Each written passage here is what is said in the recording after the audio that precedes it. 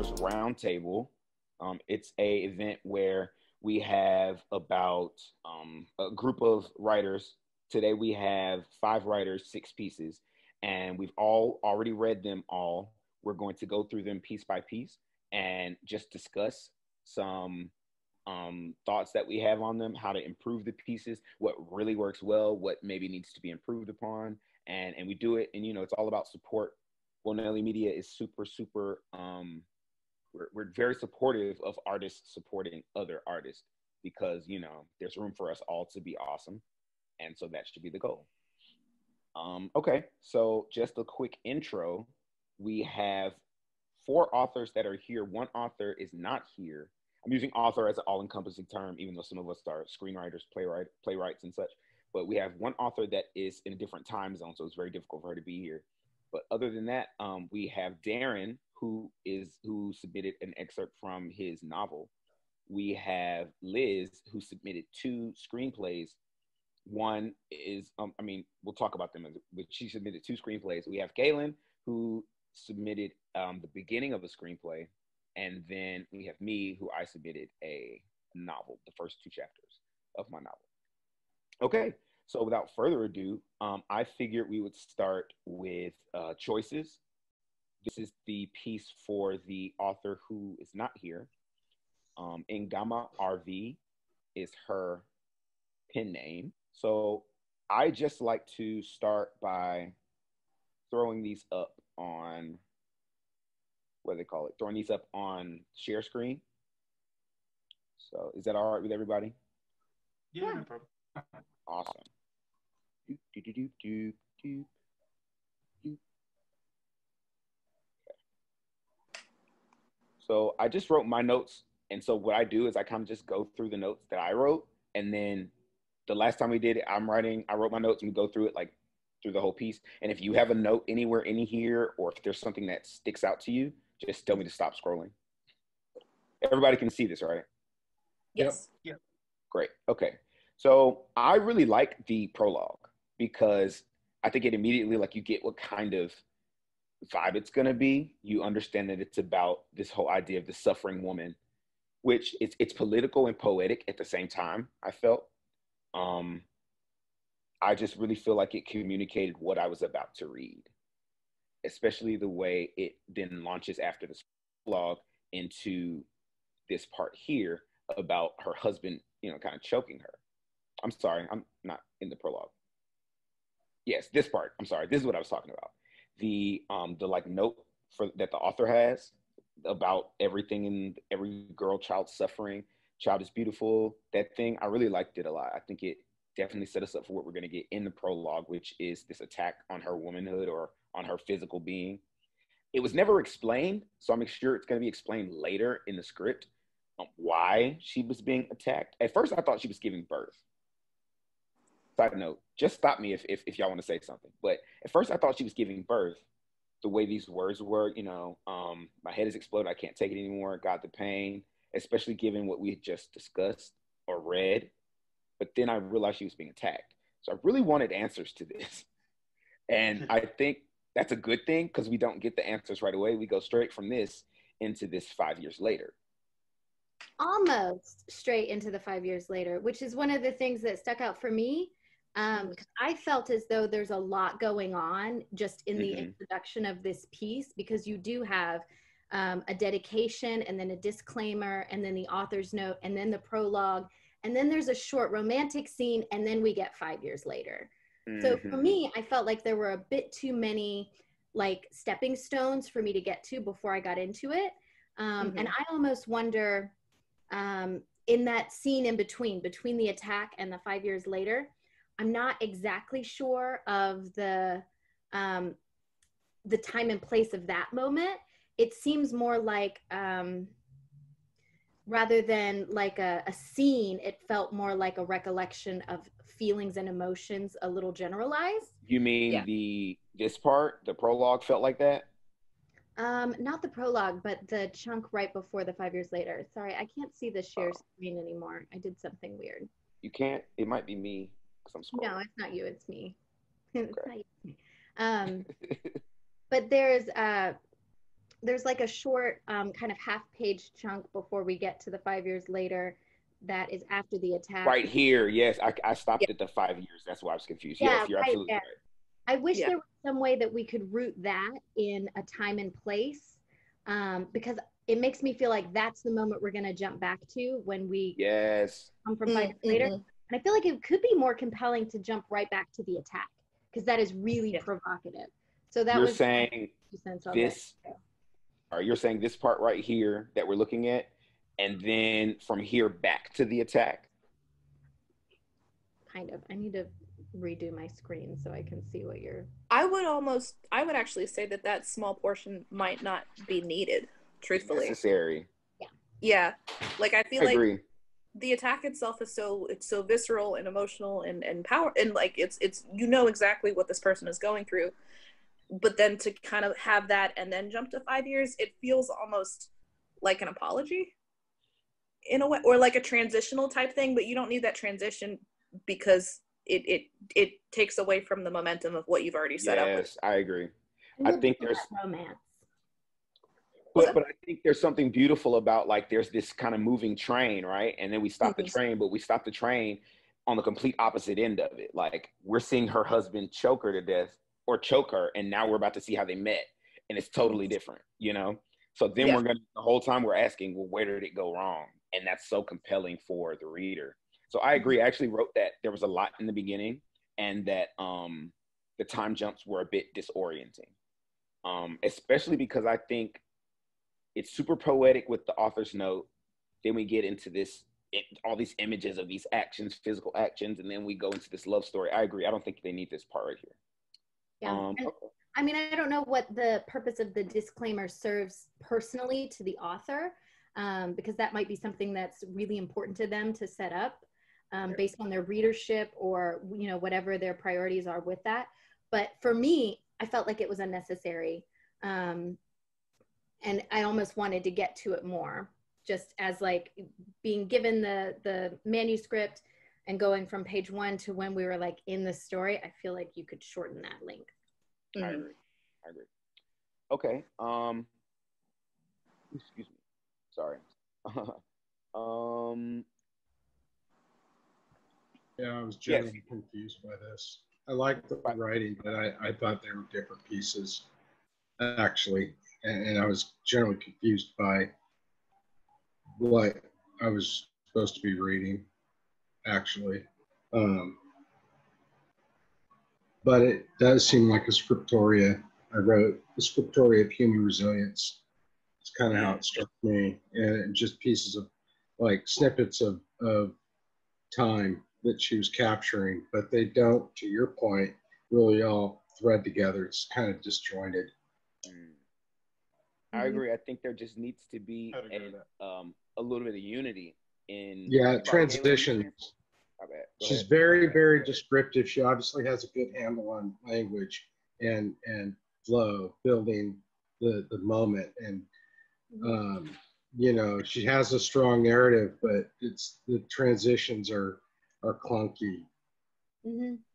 i can i can see so the a way to so how would we improve the transitions because we i think we all agree about the disjointedness how would what would be suggestions for her to improve and make it more seamless well so that's what raised the question for me is she going for is this supposed to be a novella um, or is right. this like a, a short chapbook of, of, like a memoir kind of thing mm. right what are we getting into basically? right right because that matters that that will set the guardrails for how she crafts the story, you know, um, because if it is just a short sort of, you know, memoir, um, then yeah, each of these would be standalone pieces, and then it's a matter of organizing it for finished product. But if it's mm-hmm. truly a novella, then I think she needs to really think, go back and think about the transitions and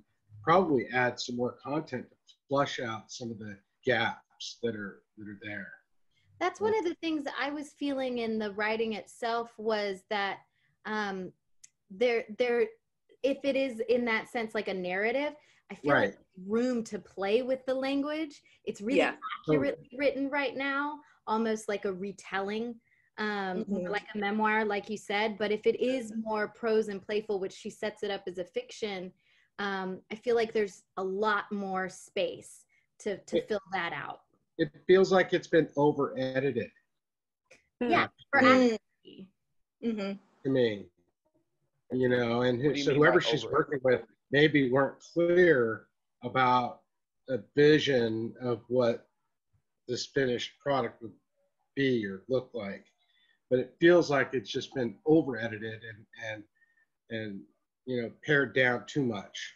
Yeah, which is where I get confused about the intent. Is this a novella where, you know, it's more storytelling? No, it doesn't really fit there. And so it's a little confusing. Okay. Um, I think one thing that's sticking out to me about what you're saying is um, just to clarify, it's about a choice and letting the audience know pretty early on what journey they're going to take. Because really, when you're picking up a book to read it, you're going to grab your audience in the first few pages, and if you don't, then you're not going to have them. Like, so what you need to And do is sometimes that first paragraph. Yes, that's it. Absolutely. but I think she has us for the first for the the first bit of it. But then you don't want to lose us right here with making us not understand what this piece is going to be. Right. Um, Galen, I think I heard you trying to say something. No. No. Okay. Look, I, I was just making sure. All right. Um, so I had a note about just some little technical things about the tenses changing.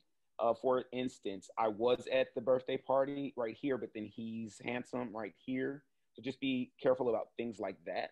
Just and those are small nitpicky technical things, but especially if this is a retelling and recalling from five years earlier, you want to keep it. I get that it's we're we're in the when we get it's but it's still in the past. So Yeah. There's also to be nitpicky. There's also a, a couple of comma splices. Do you, do you see one on the screen? Um, no, I don't. I'm sorry. I should have had that ready to go. Um, uh, Tell me a page, I can find it. didn't take too many grammar notes because I did notice that she has an editor team, and so I was. that's a really good point. Yeah. Touche.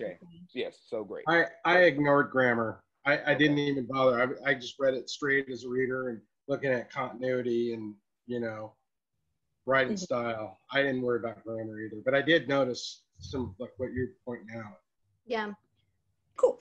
there were there was almost um every once in a while um almost like a a, a contradiction of Mm. um, different moments. Like there was a moment where she says. Um, same old videos, same old quotes, and then and every quote felt like it was updated for me. Um, and so, like in moments like that, I felt like there might be um, some some contradictory ideas going. Where you know, is Facebook full of really tired content that's not stimulating her right now, or is every post kind of speaking Sorry, to her specifically in that moment? And that's just one example that I pulled, but there were a couple tiny moments like that where I couldn't tell if the protagonist was meant to be enjoying something or not enjoying something, Mm, or if they, so a stronger point of view. yeah, it, how they felt about things like again making choices. Within there. Can you Okay. scroll up a little bit, please? This way. Yeah, keep going. Um, go up, go up more. Maybe it's in the prologue. Go down. It's next page, please. Here. So this was kind of weird to me. I don't know what the proper terminology is, um, but I get stuck on this. Which Uh, part? go by paragraph. I struggle. I can't breathe. I can barely breathe. I tried to kick him. I'm able to remove. I seize. I run. I can't. Every sentence. starts- Everything. Yeah, and that bugs me really bad. I actually, it's it's interesting because I actually thought that this was intentional for the prologue because she wanted it to feel like me, me. like right, That's and that was part of what threw me off though, because that technique I could see being done in like a book of prose and memoirs, you know, or whatever, you know. But I was confused by it. I think And this- maybe it's just style preference. I think that I think the only reason I say that I think it's a style preference thing is because I feel like if there's anywhere in your book that you can just run away with the style, it's definitely your prologue and your epilogue. So um, I think that's what, and I thought that too until I got here, and then I'm like, because she doesn't do that here at all. I was like, so clearly that was a stylistic choice for the right. I thought. I thought so. It it created a real contrast that left me trying to figure it out, and I did. Yeah. Okay. Anyway. Um. So other than that, I mean, I think I think we got a good. For me personally, um, unless somebody else has some things I want to point out, I just kind of want to give like an overall what I personally thought, and everybody can kind of do that too. I personally thought the story um, has a lot of it definitely intrigued me what was going on. I really like the um, interaction between her and the guy at the party because it, it made me question it sometimes, like, you know, why she was letting this guy take up so much of her space. So I wish she hadn't made us, made me as a reader feel the, because I'm assuming it was because of tension. She was attracted to him. I wish I felt that more and knew what he looked like and, and why she was so into him, other than that he smelled really good. But other than that, I, I think that the relationship between them is definitely intriguing. Um, I definitely want to see where it goes wrong. So I'm interested. I'm drawn in. I think you have a, a great narrative here. Your language sometimes is very poetic, and I enjoy stuff like that because um, I think sometimes when you do poetic things without making me personally feel like, oh, this is too wordy and over um, over complicated, it makes me feel the energy of a piece. If that makes any sense. Does anyone else want to say hmm. anything? No. I I would read more of it, hands down. Yeah.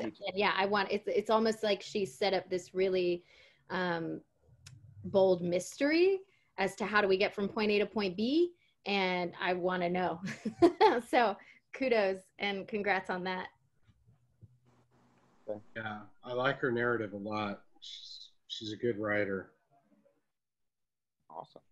All righty. Yeah. That was Choices by Nigama RV, which is actually a published work.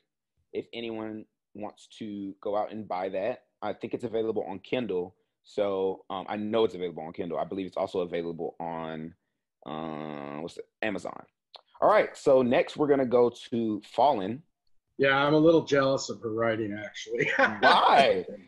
oh my god, this is really good. I, I mean, think I, I had I, I, had to really stretch to try to come up with that critic, crit, uh, constructive feedback because everything I wrote was like this is amazing and beautiful and you know, whatever. But, Speaking of, we're about to get into the Fallen is your piece, right, Darren? Yes. Yeah. Sorry, I sent yes. so much. I, I I had previously submitted and we had gone through, I think, the first three chapters. And so I felt obligated to include that with the additional. So I, I didn't mean to send so much. It's okay. I mean, it actually was easy to read. So it didn't feel like nice. It didn't. The others were, yeah. It didn't feel like much. No, it didn't. Okay, great. So that makes me feel better. yeah. So the last time we did a writers uh, workshop, uh, Darren submitted this the the first the prologue and the first chapter of this book. So and then we went through the rest today.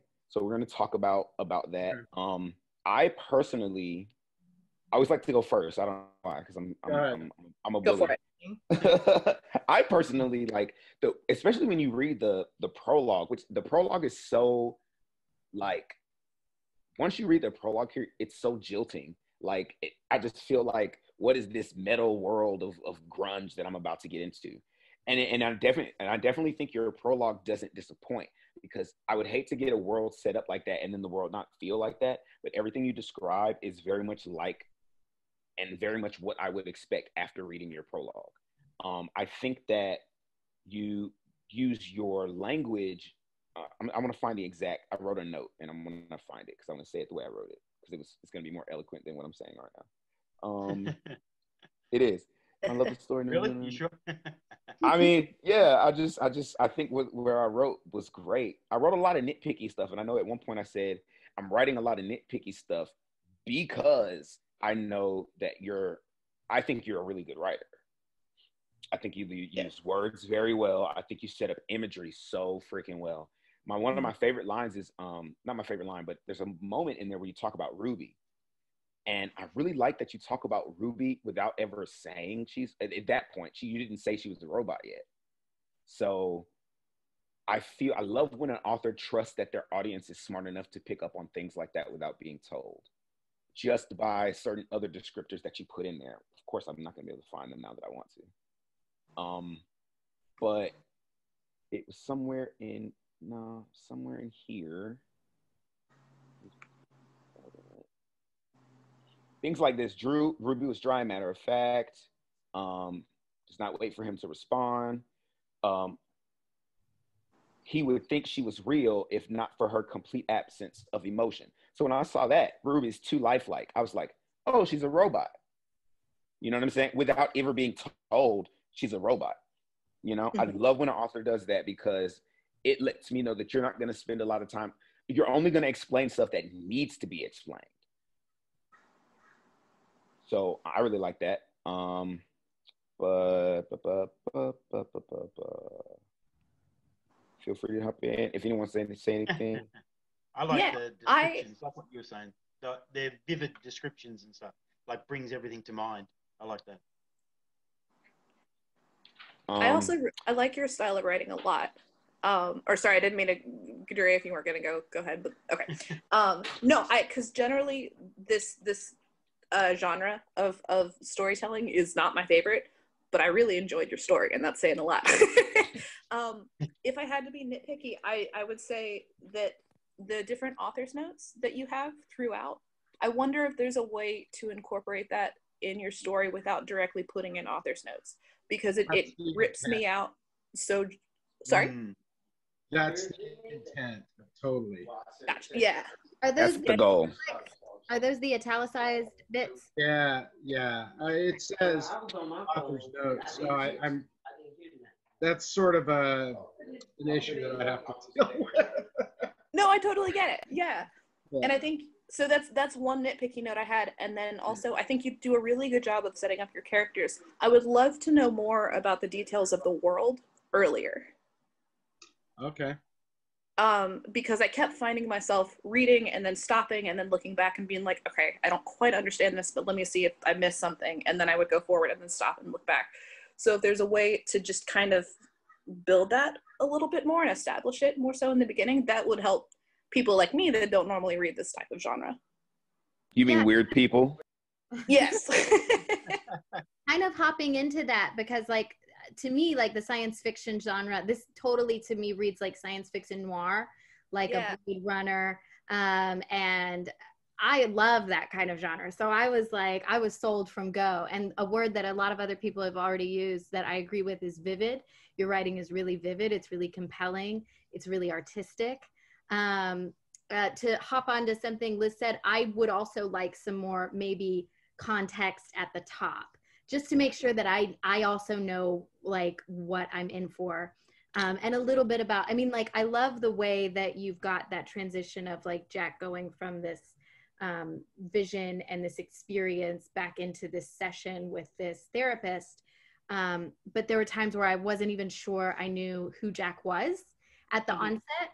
Um, and so maybe establishing him a little more firmly just for new readers um, hopping into um, this as a series. Um, mm-hmm. And I think that there's a really cool opportunity here for some fun juxtaposition because you do have all these nods to futuristic moments, but we don't have a full picture of the world. Um, and I think that maybe playing with things like the visuals of like a ballpoint pen or like a coffee mm. cup or some of the kind of like the modern meets the traditional in there, because I feel like you have that um, uh, kind of tug going on with the language. Um, and then lastly, the other thing that I honed in on that I feel like um, is a really cool opportunity is to really play with that dialogue because your prose writing is phenomenal and you've got such a specific artistic thumbprint. Um, i feel like your dialogue is not necessarily as organic and natural as it could be. Mm-hmm. um, and so that's something that i would just maybe hands down just read it out loud and make sure that the voice of how you're writing it is the voice of who you imagine yourself in the room with in that moment. Things like people rarely don't use contractions. You know it's rare that someone will say i will as opposed to i'll. Um, moments like that. And the only way to really know if if those words are sitting in like an organic place is to hear it. Right. Thank you. This is a beautiful piece though. Thank you for sharing it. Yeah. I wanted to say that i agree with everything they're saying. I also agree with the author's note thing. That's one of the notes that i had. Um, suggestions dialogue is a great for me understanding because i when it, when it comes to dialogue i always approach it as an actor first.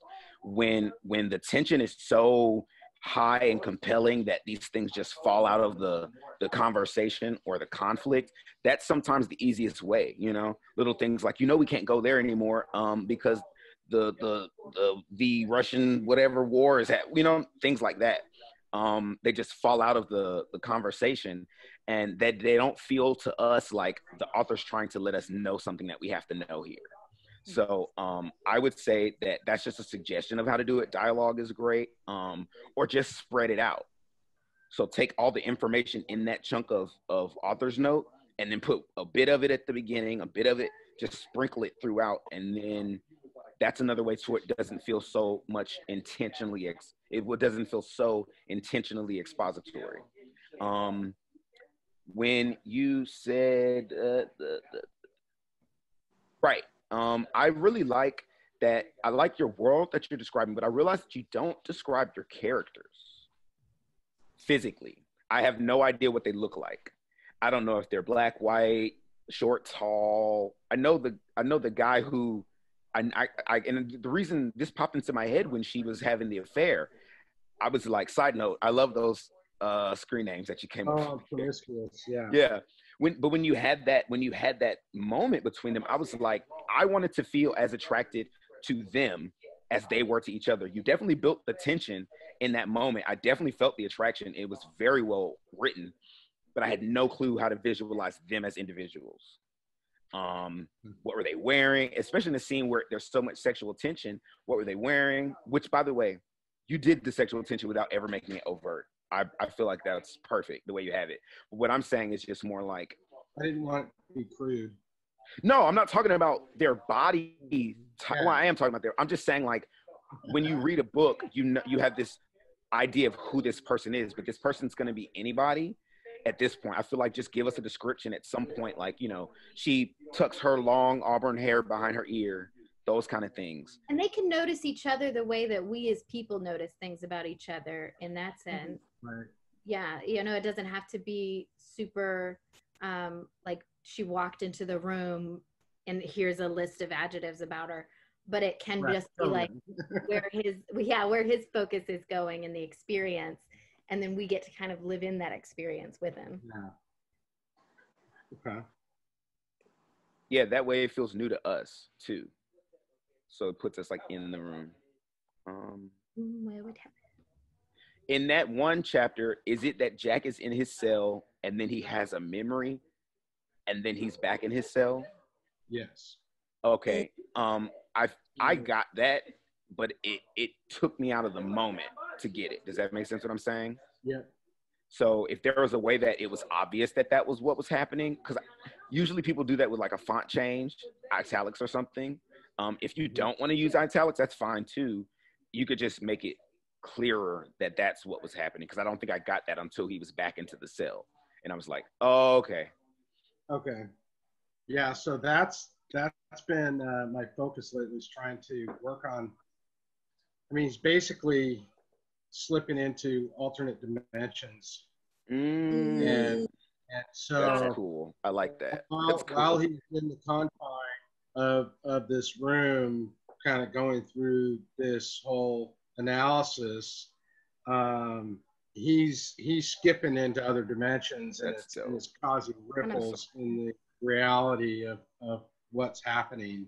And so the idea is to kind of get into the world and some of the characters through that alt state, but then bring continue to bring him back into the um, part of the well where he's clinically going through this this whole cleansing trip. So because he's got a lot of issues, but he's also um, like a superhero. so I have to flush that out a little bit. I feel like I feel like that gives you such a, a cool convention that you can build based on like what is that experience like for him? Because you play with visuals so well as far as like light and sensation um, that that might be the perfect opportunity for that is what is it like for him physically to be dipping in and out of these realities? Um, and could you use that as like a, a little kind of breadcrumb for the reader um, where we start to realize oh these are these little blink in and outs because he's right. going through this specific sensation um, I also took a quick note just from a promotional standpoint. Um, I, I actually, I love the like kind of um, planetary um, artwork at the uh, page numbers. Um, oh, yeah, yeah. I think that that's just a nice little like reminder that we're in this kind of unconventional genre. Um, I also think that uh, including a really compelling image on your title page would be something that might serve you really well um, just as far as like almost like concept art um, to to help us kind of as a shortcut uh, be where you are in that sense. Um, if you want to just look at different um, pieces of art, I think there was one that I even screenshot. Um, I might drop it into the group or something. Just like as a filler for now, because I, I obviously I, I'm um, I need to do some original artwork. Yeah, yeah, exactly. But yeah but just in the sense of like almost for um yeah like a filler essentially um okay. while you're showing it to people um let me see if this is how this works let's see file i have a lot a lot of art so i i could oh sweet. um that's just something that i feel like could be really helpful. Um okay that's that's kind of exciting all right. Yeah yeah. So I do kind of try to, if you like, right in this section, I try to get into describing the world and the city around him's neighborhood. You know, the bar, the you know, talk about Northtown, flanked by two major rivers, and um, you know, uh, barely make out the words pleasure parlor, red flashing lights. So I, I did try to lend some some time to building up the world a little bit, what, what his city environment is and where he's at. I wonder, um, what do you mean by bringing the world or, or um, bringing that into the story sooner? Liz, you were, you were, you had some really good feedback about. Um, I think I think what she was just to clarify. I think she was talking more about the situation that the world is in with this war stuff going on. Is that what you were talking yeah. about? Yeah, I think yeah, it was yeah, more of that. Like, we want to know more about what's the what's what world are we in? Like, because clearly rules of this world. Like, right. That's what. Yeah. What's what? Are, what's the rules of engagement for this character within it? Wow. Define. Okay. You're like, it comes with a Bible. yeah, exactly. But that Bible is what readers who read this genre are going to be in love with this for because yeah. you're going to have all these rules and stuff. And, and we want to know, like, even little stuff like, we know it's it's not like a a uh, a realistic piece because the guy pushes the robot out of his brain. You know what I mean? So what are the rules of this? How is he able to do that? What is changing about the world? And we know about this war that's happening. And is it is it an alternate version of our world? Is it a future version of our world? Is it not Earth at all? Um, just so we can kind of like get our feet on the ground. And I mean, maybe we don't get our feet on the ground. You know what I mean? Like maybe you do kind of build the world in um, in nuggets as you go. Maybe that's part of what you want is for the reader to discover themselves with it. Um, yeah. That would just be that was the takeaway of reading like a short piece of it was wait a second, where exactly am I and when am I? Well, it's interesting because I have a version of this where that's what I did. Mm. And and went okay. and I actually edited I pulled it out and and it went into the third book because that's really where it belongs. But the, and then I came back, and I, I can probably bring stronger traces of it into the prologue here to set it up because two if you scroll on the graphic element so they're on for right now it's just a working name but i'm calling it the kepler so the planet that we're on is kepler and then the gaia which i suppose you can see as earth is a mirrored system in an alternate dimension so it's a it's That's a cool. it's a dual Gaia. I immediately went to Mother Earth, and so I was like, oh, right. we're in like so, a spiritual version of Earth. yeah. yeah, it's a little bit of the same thing. Uh, yeah, but um, anyways, and so all of that kind of comes out, and and certainly um, that well becomes kind of a central point to the whole this whole first book. But you know how Star Wars has that really long scroll before we get into each of their movies where they set up sure, yeah. with. Yeah. I feel like this almost needs one of those. And yeah, you're right. The prologue would be the perfect home for that. Yeah, mm-hmm. because then the rest of the continuity of of the character building and everything can can kind of breathe. Yeah. Which is what I'm trying to accomplish. Just let that breathe out a little bit and continue to build the hooks and the layers because it's it's not a simple story. not at all. But um, I do want to I do want to make it a little more obvious that he's experiencing multiple realities at once in this chamber that he's in. Um, so I that's really good feedback. It got my mind kind of thinking. yeah, well, it's interesting because, like I said, I had done a I had set it up initially kind of like that, and but I felt like I was giving away too much, and so I pulled a lot of it back. But because you're right, like how Dureyea mentioned earlier, like you know, audiences enjoy being able to kind of um, unfold these stories ourselves and and not feel like we're being kind of like spoon fed the information. Yeah. Um, but at the same time we we don't want to feel like we're working too hard for it or we're missing things or having to go back and try to piece it together. It's a dance. I, I agree i agree. Yeah i i love that that that's the feedback that's coming out of this exercise so that's that's cool. So um I think other than that, I I loved it like I do. I like everyone said. I think it's poetic. It's interesting, strong dynamic characters. I really just one more note. I really loved the introduction after reading it the first time and now seeing more of the story the introduction of his wife as a character totally adds this really um, humane aspect to the whole story and i really love it because now because he's just a regular guy too instead of this anomaly you know right. I really love that device. Yeah, I mean, he, he, he chose to take on a human experience, right? Yeah, yeah, yeah, yeah. Okay, so that's that's all I have. Does anyone else have anything they want to add before we move to the next right. piece? Keep going. Thank you. Yeah. All right, so next we're gonna do Lucid, which is one of Liz Schad's pieces. Let me just pull it up here. There we go. Okay.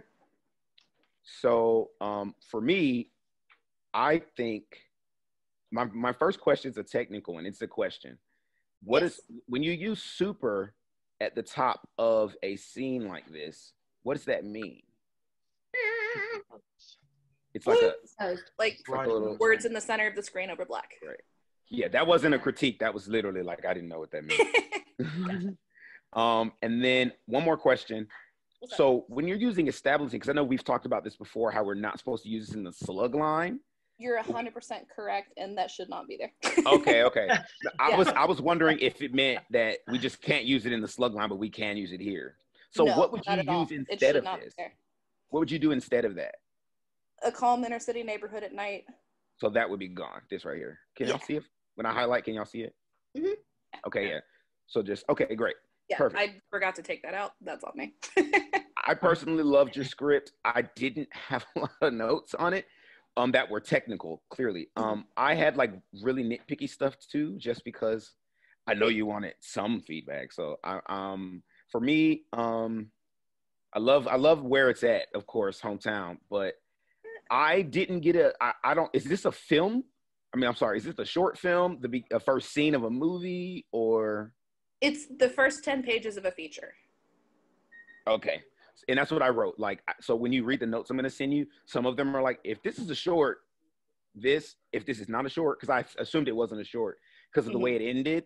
Um, it still is a story, which is really great. Just in what you gave us is a full story.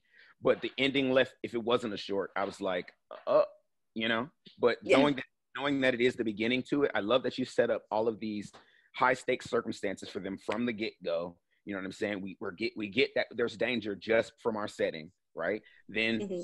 then we get that emotion of the the the gunshots, and then we have a action, right? Mm-hmm. As that action's happening, you get a sense that of this heightened importance. Now, I'm not sure if that came from you telling me that they were sisters or me mm. being to realize that they were sisters. And I don't know because to me, the only time it was mentioned that they were sisters is in one line of your action. So I wonder if that, I'm assuming that that's going to be a big part of the story at some point as mm-hmm. to why you made them sisters and not like best friends or something. Um, and I'm definitely super interested to see where that's going to go. I think structurally, you're it's very sound. It moves. It's got a pace to it. You don't like you don't you don't bullshit and give us stuff we don't need. Um I I love that about it. I think boop boop boop. I would love a description of Tanya and Carla. Mm-hmm. Um, because I just specifically I was wondering if they were black the whole time. Mm-hmm. I'm not even gonna lie. They go into that gag later on with the misidentification. I was yeah. like, where are we in that? I originally had them as oh go ahead. Go ahead. As as mixed. Mixed meaning like half black, half white? Multiracial. Yes. Yeah. Okay. Why? Why? Yeah. Because it's it's uh it's based on two people I know. Two version. Why not? Yeah. well, I mean, yeah. Well, no, no, because it does make a difference, though. Yeah, no, no, no. I do understand. Yeah, it does. It make does make a difference because mm-hmm. because socially, mm-hmm. p- two mixed girls versus two like dark skinned black girls are going to have mm-hmm. two completely different experiences growing up, 100%. and they're also going to they're going to respond to that news um of them miss like the whole idea that the news has categorized them as two six two black men it's mm-hmm. going to be if they're dark skinned like girls or not. That's going to play a factor into that too. Um, mm-hmm. But at least you know why. And my question is this: Is this something that matters for the rest of the story? Could this story happen if these girls were not black? Um, there are there are tones of Atlanta, the way that Atlanta handles certain things that I want to bring in later. Um, and, to be and, somewhat like racially charged. Yeah, yeah, yeah, yeah. Okay. Um, but I'm not opposed. Like, I'm trying. Let me. Sorry, I'm just trying to think of what I'm, I'm trying to. Trying to so it sounds like you have two actresses in mind for these roles. Yes. And I don't think there's anything wrong if you already know who you want to be in front of the camera, describing those characters like those actresses. Because okay. also from like a um production standpoint, I mean, that then sets you up for success to promote those actresses for those parts because then yeah. you've like introduced them visually to the people who are reading the script as like, oh, well, these actresses fit this description. You know what I mean? Mm-hmm. I don't mm-hmm. think there's anything wrong with that. And I know that uh, it's kind of um, a personal choice sometimes whether you include specific descriptions of actors or not. Mm-hmm. Uh, but my opinion of it is when i'm reading a script the description that i read gets kind of stuck in my head mm-hmm. um, and yeah. the other thing to keep in mind is that if you do not specify sometimes um, mm-hmm. the reader will um, impose their own race on the characters mm-hmm. and so like that can be something that you want to kind of keep from happening if you have something specific that you want that makes sense i just yeah. want to i wanted to because me and you had this conversation the other day i think everything she said is is accurate Mm-hmm. I don't think there's a problem with the characters um, being these specific actresses, but I would, I would, I would suggest that if it is important to you, especially given everything that these are women of color, that mm-hmm. you put it in the script and also in the dialogue so okay. it, it's inescapable so you know what i'm saying because and, and, and if you have people give you pushback if they give you pushback because you're not um that you, uh, because you're not a woman of color that's easy mm-hmm. you you get a woman of color to you know talk to you and get and get you and help you write it or, or whatever you need to do but i do think it's important mm-hmm. that like lena said if if you don't tell us what these women are and what they look like people mm-hmm. will impose whatever they want on it and generally we know what that ends up being so gotcha. um okay so i had like really technical stuff. I want to know what if they were sisters and how that's going to play out but it seems like you already have a um a trajectory for that. Yes. So i don't really have that note anymore. Um i want to know one note i did have and it might be too early in the script. Yes. What? Trajectory? Mama gone somewhere.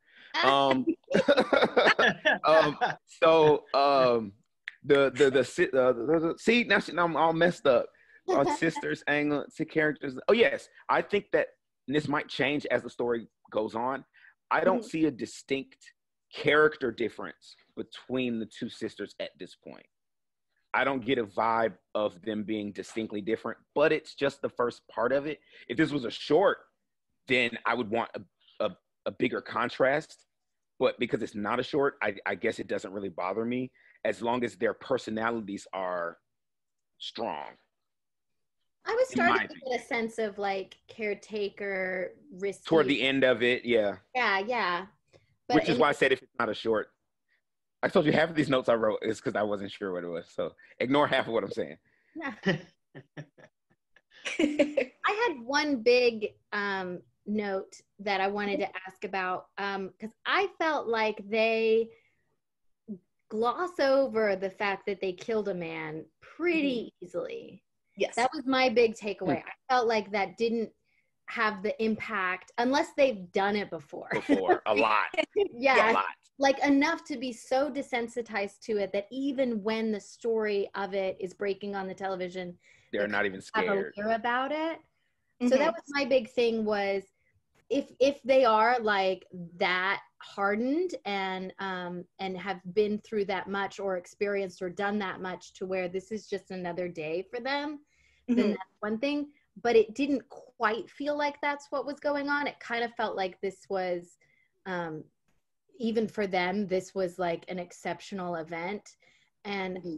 i guess i wanted to see the effects of it but you might be saving some of that for later and this might be like the inciting incident that starts to build that with them so that was my mm-hmm. biggest takeaway from the piece do you think it could be the drugs so i wanted their reaction to it to be completely wrong because it's it, it ends up being what gets them in trouble later on slash caught later on mm-hmm. and so you're right that it's it's completely the wrong reaction but i wonder if it, if it's too desensitized at this point um i think it's okay for them to have you know an inappropriate reaction to what happened mm-hmm.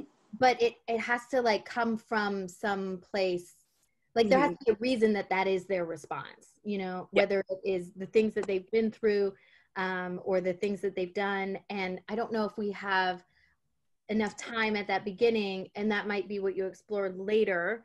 Mm-hmm. um, i don't know. I guess i just need maybe more information about those girls and why this is the way that they're reacting. You know what i mean? like why.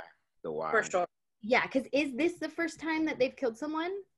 No gotcha okay and if you don't want us to know that right off the bat then mm-hmm. i think that this setup is fine I mean, that has to be the assumption, though. I, I, agree with you. I didn't think of that, because I mm. think I assume that's why my whole thing was like, who are these girls? I kept I kept writing that like without being ridiculous. Like, are these girls that are they in a gang? Were in a gang? Do they run drugs or do they just use them? Um, because you know they clearly are using them, so that makes me feel like they don't run them. But mm-hmm. But it could be a lot of things. I guess I just assumed that they were so used to this life. Mm-hmm. I assumed a lot about the characters. They probably don't have a family other than each other, and mm-hmm and which is fine. I get what Lena's saying though. Just as long as there's a, a, a good why, and the mm-hmm. why is is compelling, then I yeah. think yeah. So there's very cool. few people who would be able to just kind of have a normal evening after killing someone. Like that list is huh. real short, and that includes like like most like criminal populations and and people who like go through so much. Even those people would have a hard time yeah know, the night yeah, yeah, yeah. someone. Yes. Good point. That's a very good point. Um i had just oh yes. I would i would want to look at your dialogue differently just because if these are hood girls for real for real i would want them to sound hood mm. and i mm. know that you're i get what you're doing and and and trying to be respectful and politically correct and not like assume how black girls talk yeah. and i appreciate that that's where a collaborator would come in handy big time yeah because yeah, yeah. it to me it to me for a while i thought these were two white girls who used drugs mm-hmm. and that and that's why they were in the hood to get there to get gotcha. to interesting. Okay. Right. Yeah. And so because their speech is it's very like correct very mm. correct like and mm-hmm. so if they're not and it doesn't even have like so for me like like like lena said a good collaborator um would would help with that but i would look at that differently. But the, but but it's still well written dialogue it's still well written. The dialogue is great. I just it didn't sound like hood girls to me. Got it. Got it got it. Matt were you going to say something? Yeah how did you know? Because i'm looking at you. Um, yeah i'm just thinking what what she's done with the dialogue though you could almost you could flip it the other way because i like different things in movies where you know like you're not getting the reaction or uh, something happen exactly like how you expect. So like could you flip it like where they've had a fall from grace? Maybe they live in a sort of average shitty area but maybe at one stage their parents had a bit of money or something happened and for a little bit they went to a decent school then got into drugs fell into the gangs and so they can speak really well. It's almost like where in some movies I'll have like the uh, the criminals speak better than the cops because they spent their time in jail reading books and, and things like that. That's an excellent point. That's interesting. Yeah. Yeah point. yeah. As long as there's a reason why. And i get what he's saying because honestly yeah. and these could still be now, now i'm not saying that they their dialogue needs to be changed because they're black just because if are they hood or not? Like if they're from yeah. the hood totally different from if they're you know if they're black and they have fall from grace this would make sense. Gotcha. Yeah. Gotcha. cool. That's really all i had. I think you had like a very well written short i mean sorry scene. I think um your storytelling is very clear um high stakes i love a good high stakes yeah, um i like it it, it moved well um, those are the only things I would say to look at um, who the girls are and then go in that direction. And you mentioned that this is the beginning of the feature, right? So this is yeah. in your mind like the first scenes. Yes. Okay, gotcha. Because it also works as like a sizzle. What's um, a sizzle? Ooh, good a point. Like a, a sizzle is like a sample that you create um, to get people intrigued in the idea of a feature film. Like um, mm-hmm. Mm. And sometimes you film it. Sometimes, you know, in the COVID era, you probably don't. You probably just write it out. yeah. I didn't know that. But kind of like maybe woo investors or collaborators or partners. So that way, as you go into the feature, you've kind of built a team. I think that this is really close to being like a super, like, super sexy sizzle. it's awesome. Because, like, honestly, when I said the thing about the short, like, I think this could work as a short if the ending was just a little different. Exactly. Yeah. It would work. Yeah, yeah, yeah. yeah so that's why I like. Mm-hmm. That's why I keep saying your storytelling is very great. Okay. Thank you. Unless Thanks, anyone else has another comment, we're gonna move to dance floor. Galen. Galen. Oh, gotcha. Uh, the working title. It is not by any means the title. Um, I yeah. feel like it's the title and he don't want he just don't want to lo- live in that love. I'm messing yeah. with you. I like. I mean, it to me it works as a title though. Yeah. Having read it, yeah, I think it works fine as a, a title. Speaking of title, um, I would love a title page to be sure that you have your name on it.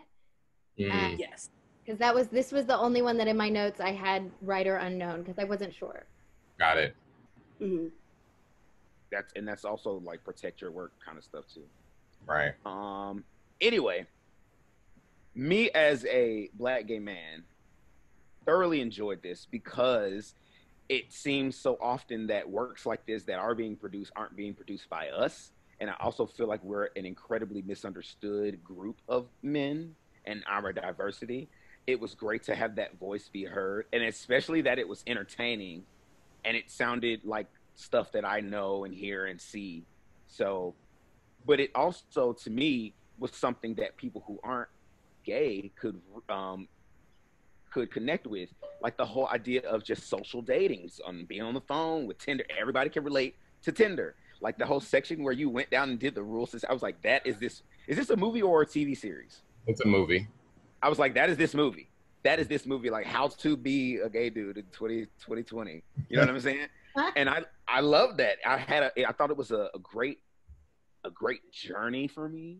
I'm I would totally watch the rest of this movie sometimes movies that are about our culture, LGBTQ, are really depressing. Um, I feel like that about a lot of black movies too. Mm-hmm. Um, so I love the fact that this was like when Dance for Life. I love the main character and that he's just so free. Mm. Because that's a good image that we need to see a black dude who's not like a stereotype of drugs and robbery and all this other stuff, who's trying to tell his friend to quit smoking just so he can dance longer that is like the theme of this freaking movie for me. You know what I mean? Black Boy like, Joy.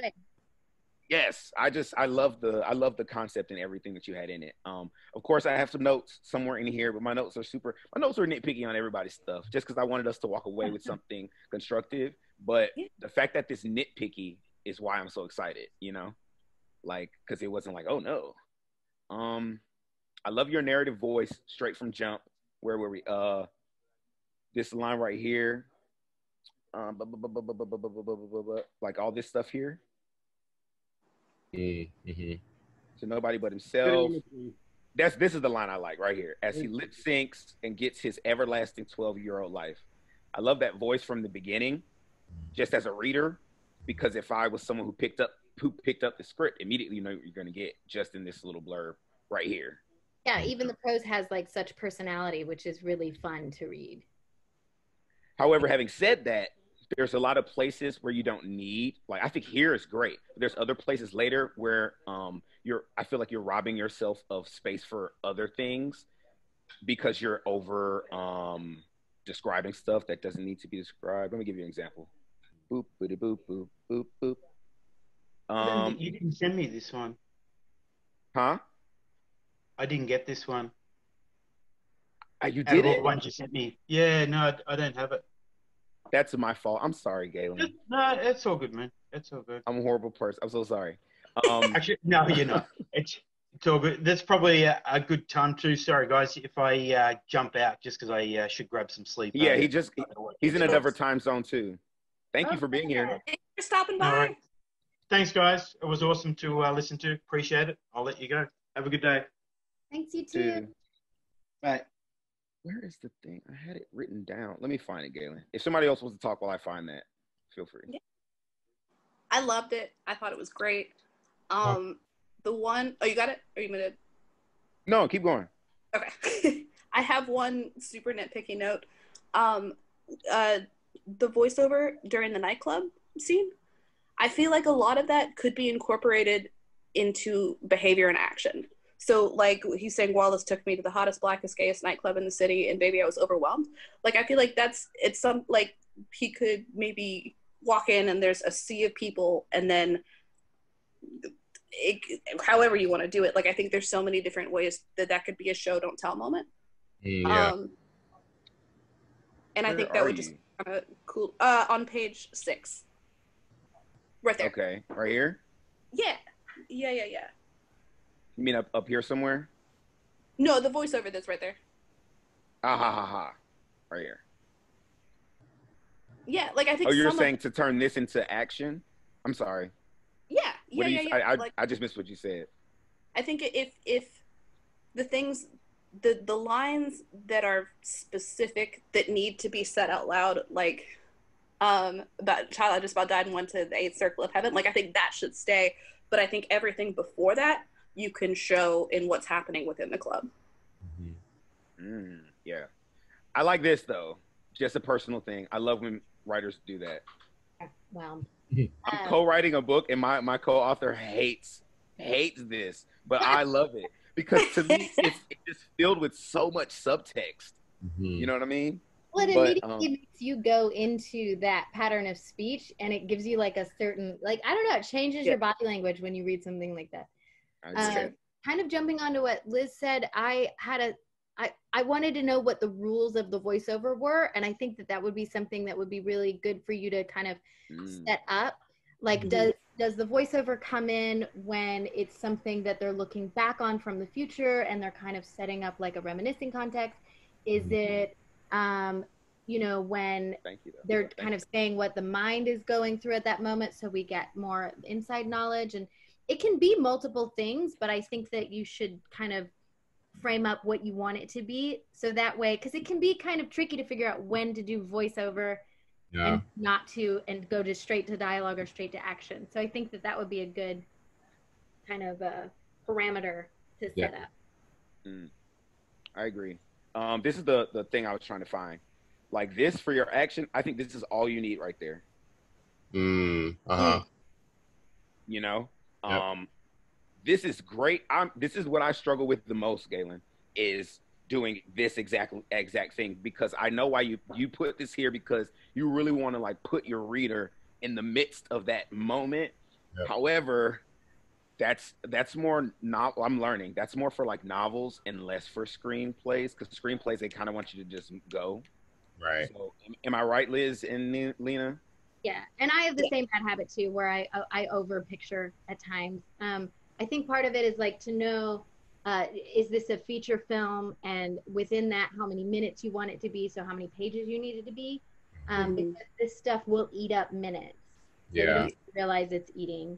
Um, I also wanted to say there was there's some moments where I feel like the voiceover and the dialogue kind of cover the same territory, and mm-hmm. so you get kind of like two times of the same moment. Um, so that's something that I would look at to make sure that you're looking for redundancies and really pick which one you want the most. Yeah. Um, and I also think that the voiceover gives gives this whole experience like a really sweet coming of age vibe. Yeah. Um, yeah. Like 80s coming of age kind of thing. Yes. Yeah, I agree.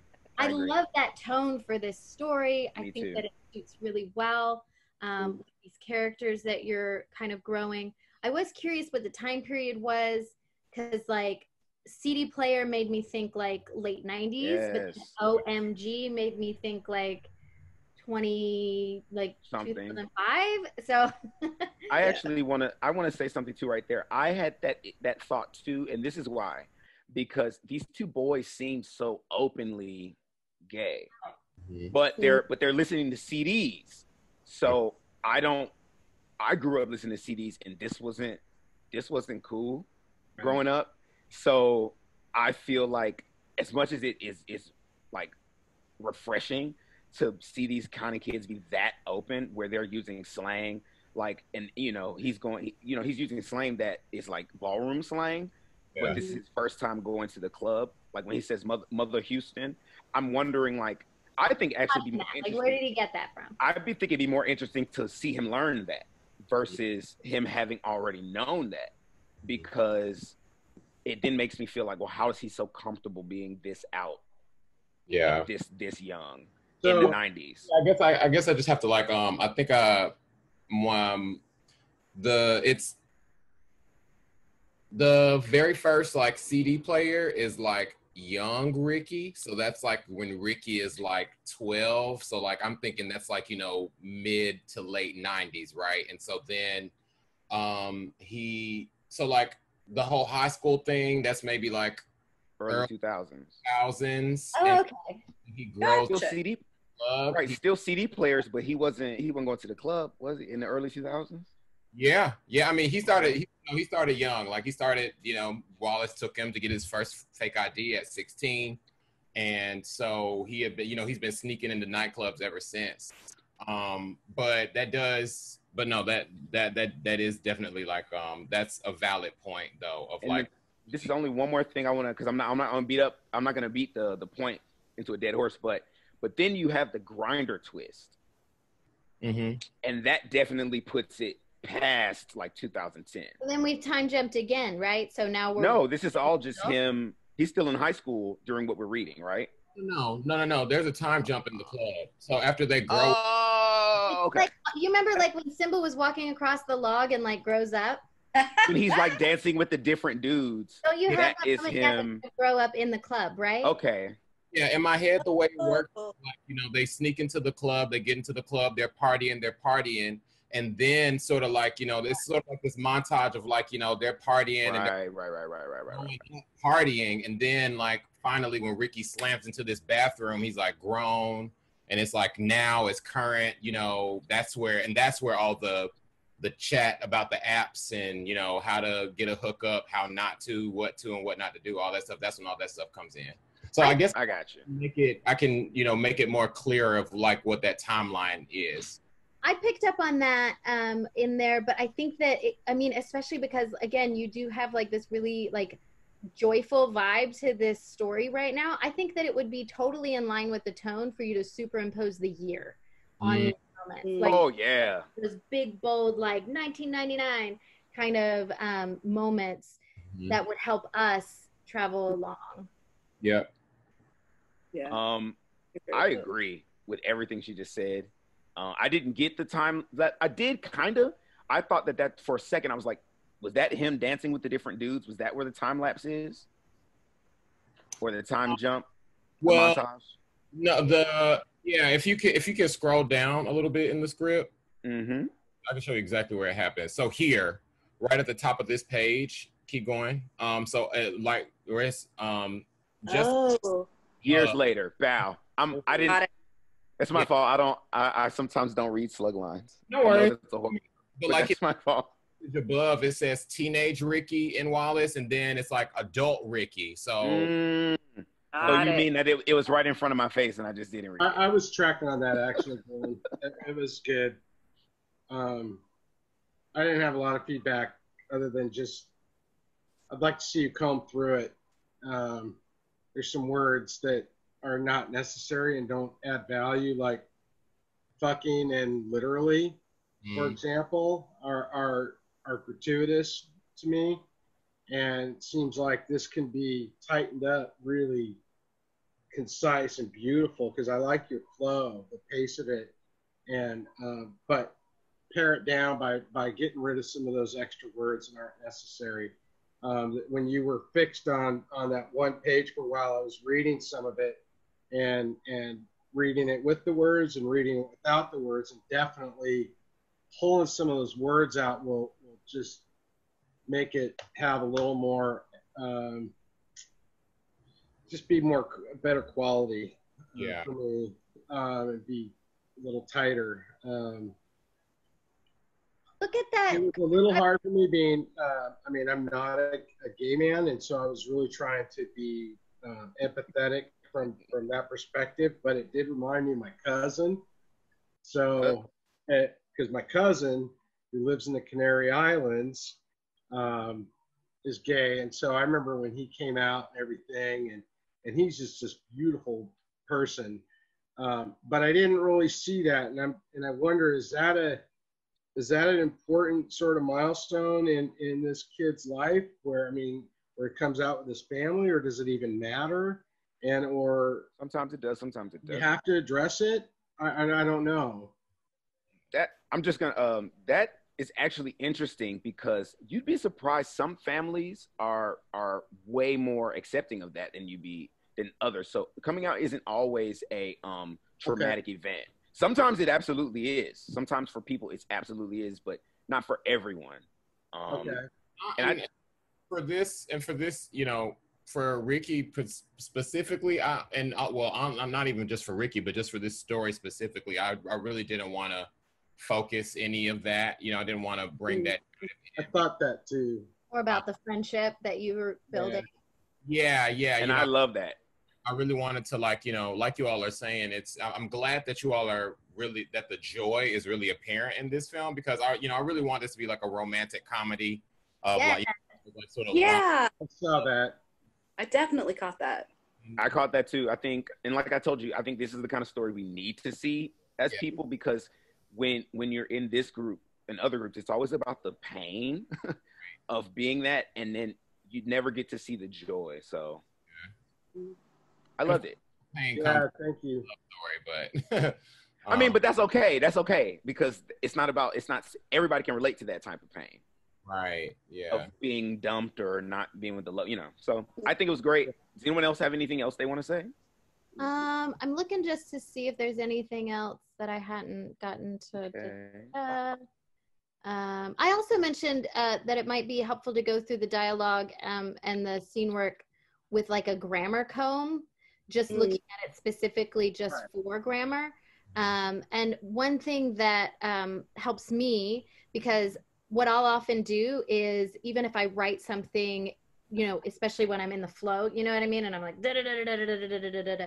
Um, and I might skip words or different things like that. When I go back and read it, my mind's going to put that word in anyways, and I won't even see that it has an error. So right. something that helps for me is to read it out of order. Yeah. Um, and and that kind of tricks your brain into looking more intentionally at what is on the page as opposed to the flow that you have in your mind and you're just glossing over it. Yeah. Mm-hmm. Right. Lena comes dropping gems, bro. Yes. Right. Love it. Okay. Doing all my tricks. Um, hey. hey, look. So I guess after that, we're going to move to the next piece. The next piece is going to be Snake Eyes. Do you not want to do yours? I, I just go last because, you know, it's, it's my thing. So I'm not, I'm trying to be like a host. You know what I mean? The host, go, I go last. Yeah. Do you guys mind if we take a two minute break? Absolutely not. So we're going to go over Snake Eyes. Uh, my first note was I mean, I don't I don't think I took a note right away. It was a minute. Like I think immediately we hop it, we hop into the situation. Oh, maybe, forgot we were doing this thing. You do that. Boop boop. Oh, hold on, y'all. Oh, screen share. Yeah. Oh, yeah. To do that. Okay. So the first thing we hop into the beginning of it, and I think it starts off really well. Um, boom. Mm-hmm. So, just from what he's wearing, we know what's up. You know what I'm saying? And I'm yeah. talking about if I was watching it, not so much so if I'm reading. If I'm reading it, I get it from just from this part. Mm-hmm. Um, but watching it, I see a guy in a in a in a freaking in a church in a tux, so I know what's all going on. But he's nervous. Mm-hmm we already know what's going on. You don't have to explain it. Every time Liz has ever given me the note in the past about like condensing my action, I've always struggled with it. After reading this, I'm like, aha. I feel like this is like the epitome of that. Mm. Reading this, it is the epitome of that. Just boom, boom, boom. And I would have wrote, I would have written Dustin, tall, dark, blah, blah, blah. She's got a black tux on. Of you know, I, I would have went I would, my, my intro right here would have been like down to here. So I get it. Best friend groomsman, great. I love how you get a sense of her personality right away. Like right from the beginning, you get that she's that lovable, kind of quick-witted, you know, sarcastic best friend who is so down for her best friend. I also like the fact that it's a groomswoman. Mm-hmm because there's two of my friends whose weddings I was not allowed to be in specifically because they were women and I was men. So oh I, I, know, and they're they're like my longtime best friends, but their husbands weren't cool with it. So oh, man. that's so lame. I know, but I wanted, to, I wanted to ask real quick before we get too far down. Um, yeah. So this is a standalone short film. Yes. And um, I noticed that it's a fourth draft. So I wanted to, well, just because I saw that it was on there, I wanted to ask like what those previous iterations kind of look like because I didn't want to maybe give notes on something that you already had. yeah, that you had. See, Lena, this is why Lena is here. I love it. I love it. I love it. Um, no, so I definitely uh, was far too. Um, it's funny that you say that about the action lens because in the first couple drafts they were much chunkier um, and it would there was a lot more of him in the room getting ready and then she comes in and then they have a moment and then they transition to the dice it, it was just it was too drawn out and so the it just got kind of super super truncated okay um and i and a lot of the jokes got cut out in that because it used to be like like joke heavy earlier on um but because it was for a class it had to fit within the, the 10 page Okay. limit. Uh, so that's why it got cut so short. But now that you're, you can do whatever you want. You could add Yeah. those jokes back in. Yeah. For sure. And I would like to. I love this. This is my favorite one. oh, you're back. Hey. Yeah. Yeah, this was a good one. Um, I think personally, um, like I said, whatever your condensing did really worked. And the beautiful thing Hmm. about condensing it is to you, it's like, okay, I need to condense it, but I want these jokes, right? So let me do Yeah. my need first. And once I've addressed my need, which you have done, now you Yeah. can now you have your space for your wants. You know what I'm true. saying? You got a good four pages of space for your wants. You know what I mean? So Yeah. Yeah. and you have and that's that's a lot of that's a lot of that's a lot of jokes so you Mm-hmm. can do whatever you want um for me like i took like really crazy notes i i had one note because um when they're in the priest's office he says i know what a gnat is. But Mhm. i don't know what a gnat is. So one of my biggest criticisms was that and it's crazy because earlier i said that for the fallen piece i liked that he trusted that his audience was um was able to grasp things without being fed them. But here the jokes that i didn't understand especially because i could tell they were supposed to be funny it made me feel like disconnected only because i didn't get a lot of the references so Sure. I feel, but I'm not telling you to change them though, because I think it works for what you're trying to do. The only, so I would just maybe find a way with some of the jokes you're going to add to not make me feel like I'm missing out on half of the comedy. On that, So- in that moment specifically, I had a note that might um, do what you're saying, Dureyea, because um, I felt like it was almost too coincidental that the priest was also like a D&D player. Um, right. Yeah, and so I wanted it to be like, let's blow it up for comedic effect if we're gonna go there. Um, and so in that moment, I was like, it's a little too coincidental. So if he added something right off the bat, like dwarf level 45, you know, like just to almost be like, I'm in this club. This is what we're doing, right? Yeah. yeah. yeah, yeah. And I feel like some of those, like like dwarf, is something that's a little more um, Everybody knows relatable to an outsider. Yeah, exactly. Than like the specifics in like the nitty gritty of how to play D and D. Absolutely. Gotcha. Because she's right. She's right. Because even if I don't play D and D, I know what a freaking dwarf is, and I get that D and D is about that kind of stuff. So Yeah. I don't get this other stuff, but I I can laugh at that. That's what I'm saying. I don't. I'm not telling you to take the jokes out. Just put Mhm. more in so that I don't feel like I'm missing out on the the the base the the chunk of this piece. Mhm. Um, Having but grown still- up on D and D, I got it like that. I was so stoked to see it. I'm like, yeah. that's why I think you should keep that stuff because there's going to be people like him who are like, oh, I love that that joke is there. Immediately. Right. Um, I do have one more um thing that stuck out to me because it was so, it was such a good one. However, the priest confuses me in that he seems he seems very very quick witted. He is very knowledgeable, and he's a geek, Mhm. but he doesn't know the difference between Superman and Spider Man, and Aunt May and Martha Kent. To me, Mhm. to be so knowledgeable about all this nerd stuff, he knows exactly. But my favorite, the pay, there was a, I'm conflicted because Yeah. at the end when he does that elephant never also that that was it. I was done after that. So I I wonder if we could have that kind of joke where he's absent on these things Mhm. That are so Well, it just- obvious. right that were so obvious like especially because he doesn't seem like he's out of off his rocker Yeah. Right. unless he was like christopher lloyd in back to the future Pagemaster type energy that's or the- or like a Michael Scott, like impossibly like Michael Michael Scott? Scott, from um The, The office. Office. Yeah. Steve the guy with the glasses who's tall and No, awkward the, the guy who plays the boss, where he's like he's so self confident and he's so wrong. Um, Yeah. okay That's what I was aiming for. Okay.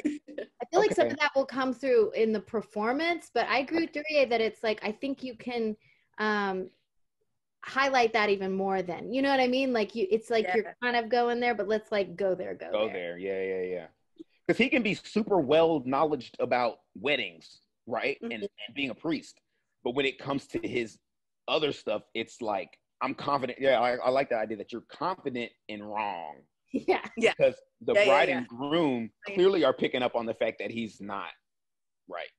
Right. But they're Right. just they don't care to tell him. I did also have that question. Why is it that they're trying to protect him from the fact that he's wrong? I mean, they don't want to be rude. It's Okay. it's kind of like an okay boomer moment.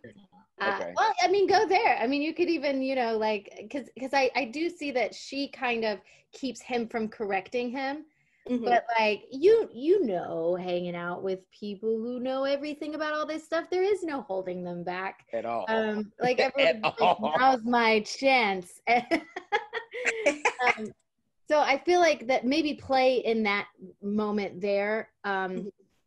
With with what you feel like the the like highest comedy is, whether it's to be called out and for them to have like a little fun back and forth. Um, yeah.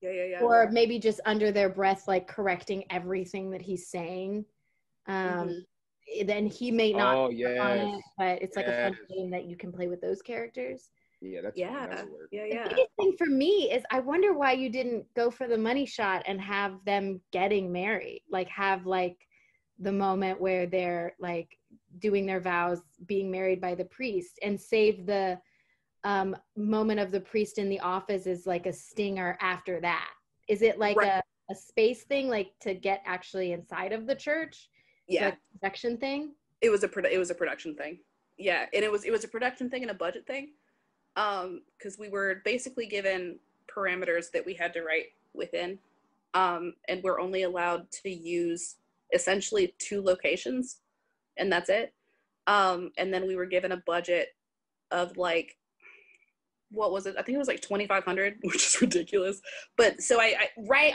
and i was like this is ridiculous so i i, I made the choice to you were like the wedding right. I was like, that's gonna be too expensive. That's too big. That's too much. We're just gonna cut it. Um, but no longer in that class, so that's a definite option. I would, I would, I mean, like for me personally, because like anytime I'm watching anything and somebody's getting married, the all I can think of is like, show me the dress. Like there are certain things that I have to get paid. Like I, I need that reward. And to me, the fact that this is a, a, a story about like their relationship and will they, won't they, since Mhm. they do, I want that reward of seeing them getting married. yeah, yeah, yeah, yeah. I love the payoff too, by the way.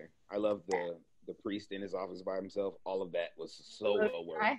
the price of admission. I was like, I was I was laughing through it already, but after that, I'm like, oh my god, I can't. cool, Um, cool, cool. I wanted a little resolution with the groomswoman because I feel like she was Mm. there and she seemed really important, and then she was gone. That's that's so funny because she she was included a lot more, and it it, it the original idea was that him setting up this whole thing to get them back on track was her idea, um, but that got cut the second or third draft because my teacher said that it it was too um, what was the phrase, huh? neat. It was too neat and too predictable and too cookie cutter. Is I think is what they So- said. You're saying like the groomswoman and the priest were like in cahoots. To Well, I make mean- sure that they went through with it because they're anxious people that are like is prone Ah. to flakiness. I feel like this though. I feel like it depends as a writer. It depends on what you're trying to send, what message you're trying to send. Like, are you trying to send the message that this best friend of him, his, is such a good best friend that she knew this shit was gonna happen, had some Yeah. trick dice already ready, Yes. and went to the priest. But then if that's the choice, how much explaining does that need? Which is I don't have the answer for that Mm. question, but I know that's a question. Or is the choice that this priest has been doing these freaking things so many times and it's just God, it's gotten so repetitive that he already knows to come prepared. And Right. and and Well, it so seems like you know which of those two you want to tell. I Right. I would just say I don't I don't really I don't think either one is the right or wrong answer personally. I think Mhm. it's just I I, I thought, if I may, I thought Dustin and Blair were like Mhm. they were all dice for each other, and it was gonna the dynamics, the story was gonna be about them. Oh, interesting. And not, yeah, and and not the, the the bride, and so and that it would like be this fate driven, you know, Oh, love interesting. affair with your best friend and they kind of spin off because I thought their dynamics between them were much stronger and kind of funny. Mm-hmm. Um, they had chemistry. Huh? They had chemistry. Yeah, yeah, yeah. Yeah. But and then you know, of course, then it went the other way, and I was like, oh, mm-hmm. okay, which is fine too. But yeah, I thought, I thought these two were going to be, you know, running off on some weird adventure or something. yeah, it felt it felt like she was going to play a really big role. Right. And so yeah. didn't it kind of felt a little unsatisfied. Yeah. I will sure. say this about Blair though. I will say this. I because I didn't I them saying it, I do agree. But in hindsight, because and I'm not I'm not negating what they're saying because what they're saying, mm-hmm. but I will say as a testament to you, it still overall was satisfying. When I think about Blair, I'm not satisfied. Exactly. So yes. so but and so I guess the hard thing about and I'm thinking of, I'm, I'm kind of internalizing onto some projects I'm working on myself. So in a moment like that, because it's really a want. You clearly know the story works well with Blair as it is. It, your needs mm-hmm. are met by the story. So now you're asking yourself, but I want Blair there. And mm-hmm. And how much of your length are you willing to sacrifice to make that happen? And then if you make that happen, does it seem too much like you're spoon feeding? Because I get like trying to wrap that up that the, that she knew that this was gonna happen and got the dice ready and all that stuff might be a little like wordy and lengthy. Uh, it depends. So? I think you could do it in action in in one moment. I think you could literally have Blair palm a twenty to the priest after yes. they say their like "I do" and yeah. kiss, and he hands her back the die, and we know right away. Oh, she gave the die to the priest, so he would. And that's why we have Lena here today, everybody.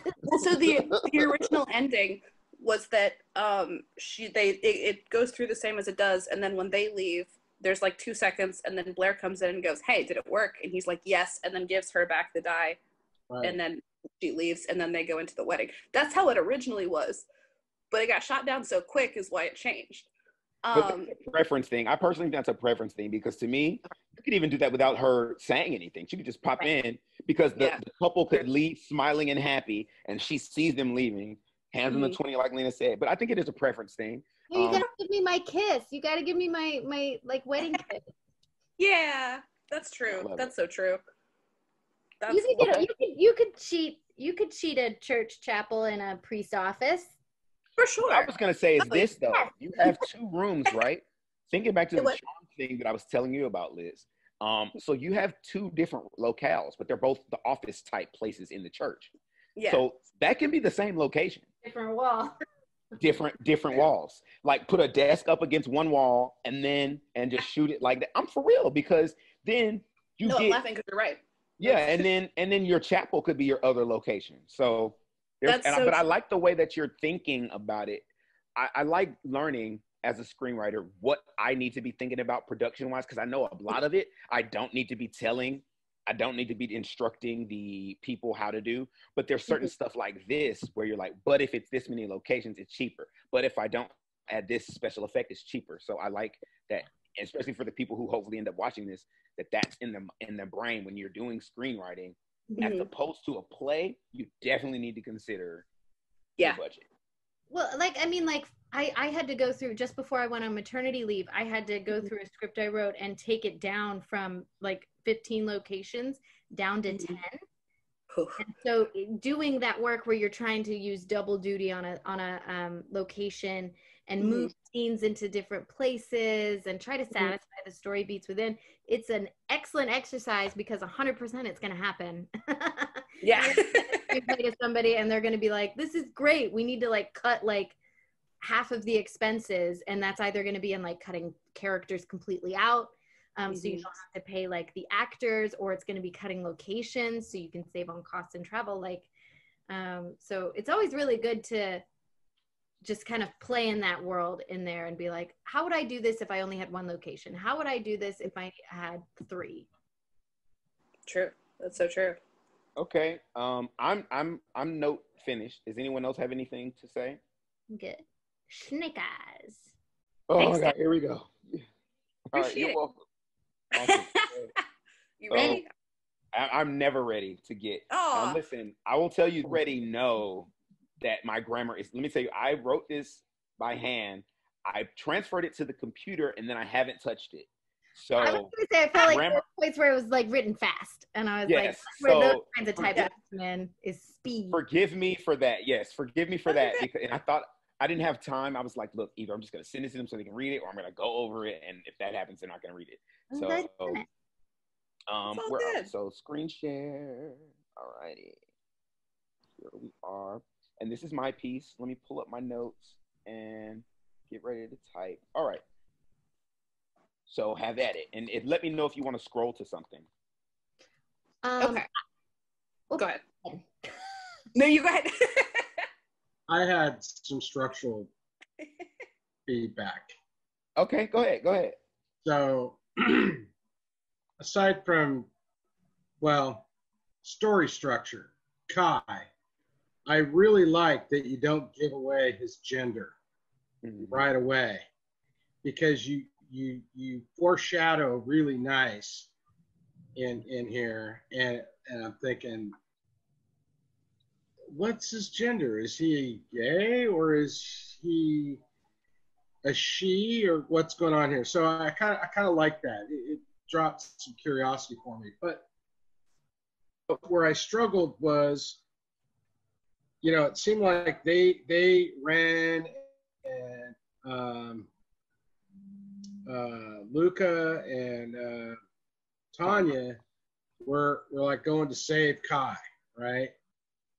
And but then Kai goes from being in this uh, sort of detrimental state and and asleep or drugged or hurt or whatever the case is to being like the hero to catch Tanya falling out the window. But the other Ren and Luca were became super passive, and that that confused me because they were the ones that just saved Kai, but yet now they became passive, and Kai is like front and center as you know gonna gonna catch Tanya.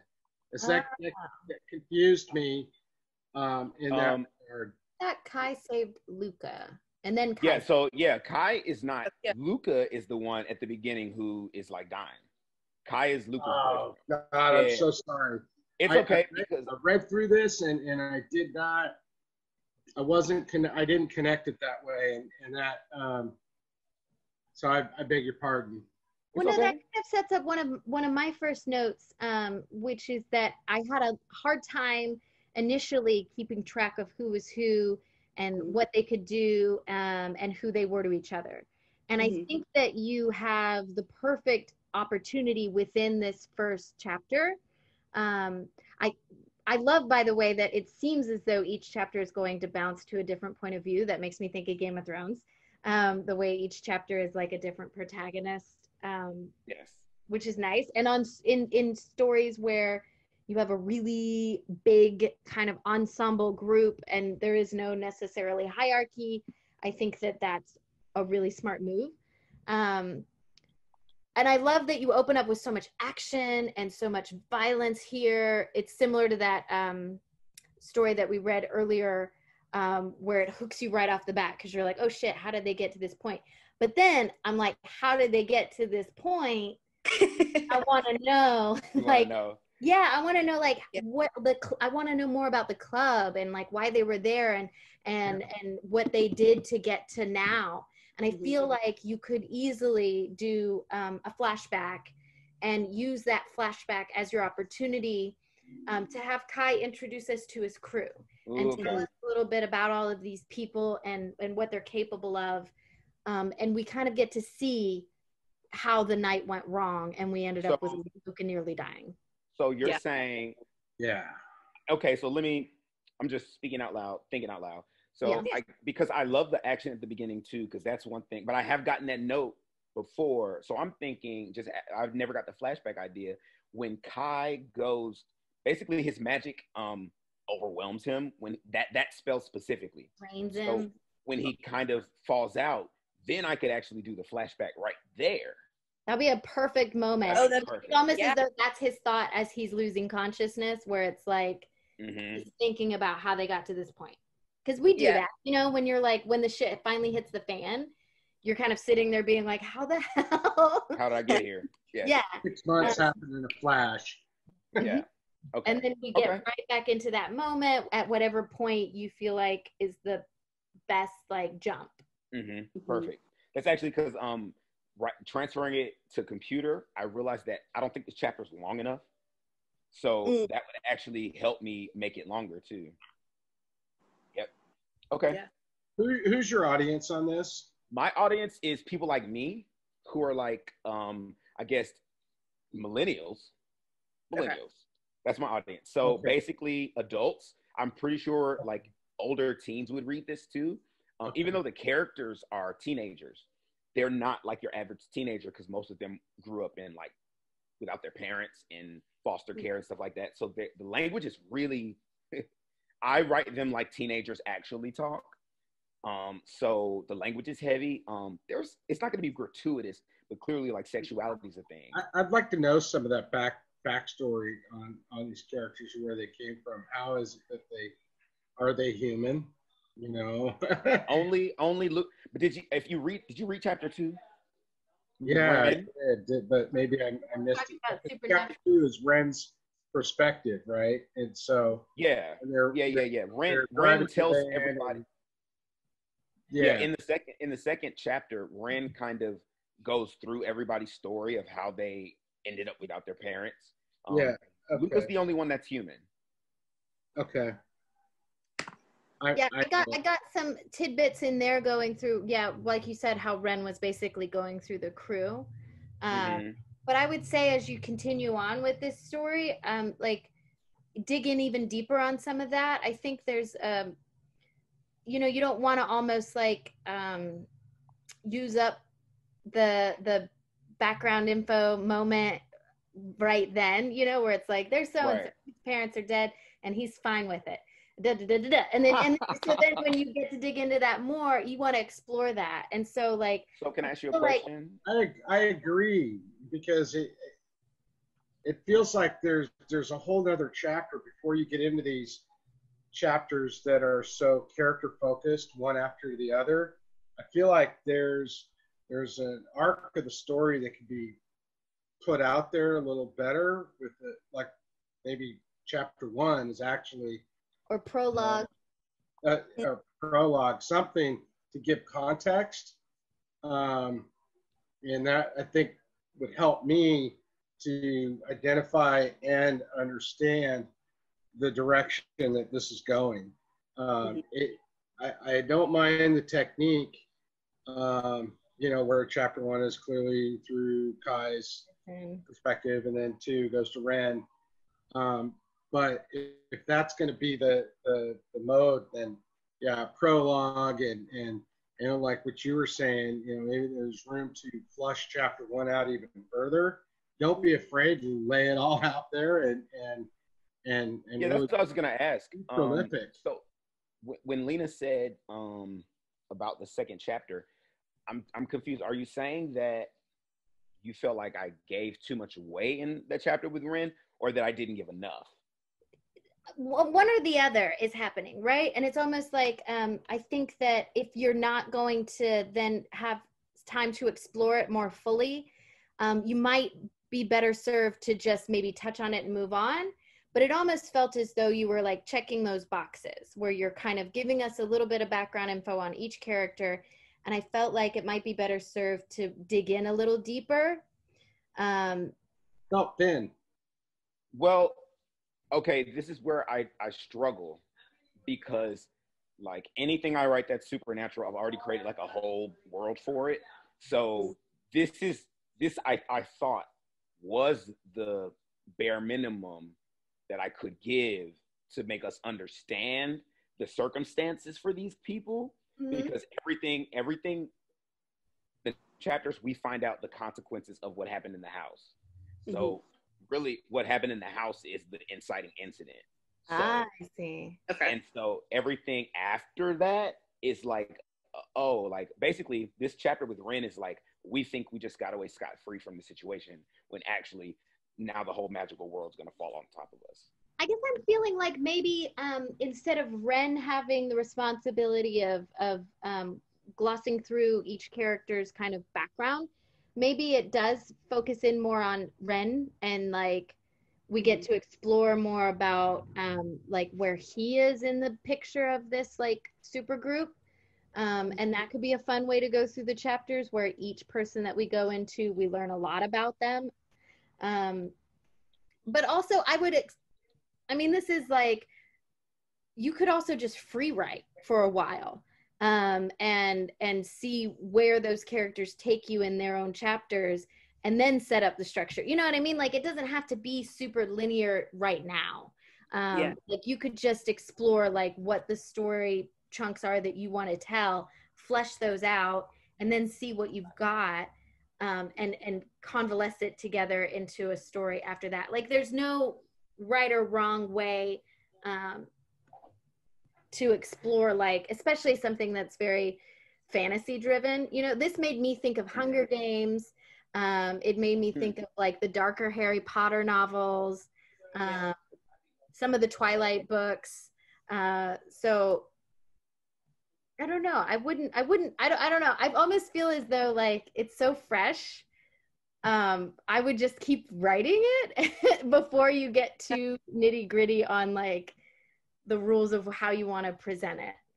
So I, I, I think, I think, I, I had a note to to Lena's point. I had a note um, on the narrative for with chapter two. I agree. I don't really want Ren to be the one telling me about everybody. I I want Ren I want to learn about Ren in the chapter. It's the Ren chapter.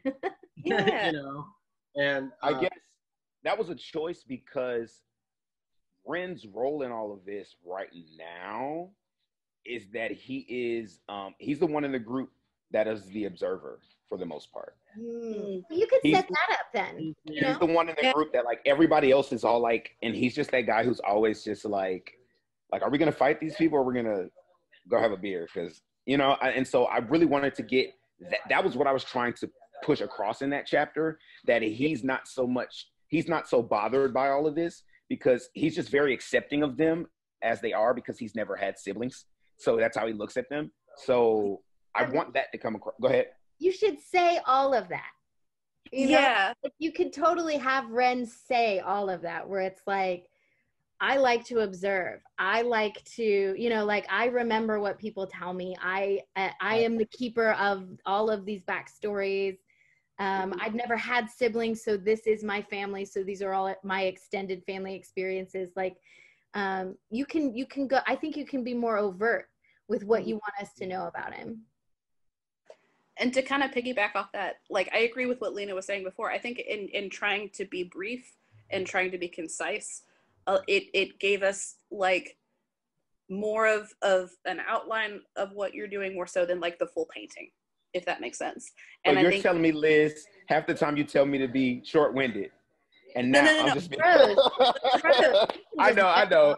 Scripts versus novels. So i know i know. I'll just be what i'm saying is is that when because you have all of these amazing thoughts and and visuals of like what you want to do your first draft vomit all of that get it all yeah, out yeah, yeah, yeah, yeah, and, and just put it on and then go back and then try to make it brief once it's all out because i feel like you're you're so awesomely creative that mm-hmm. by trying to edit yourself while doing your first draft you're doing yourself a disservice.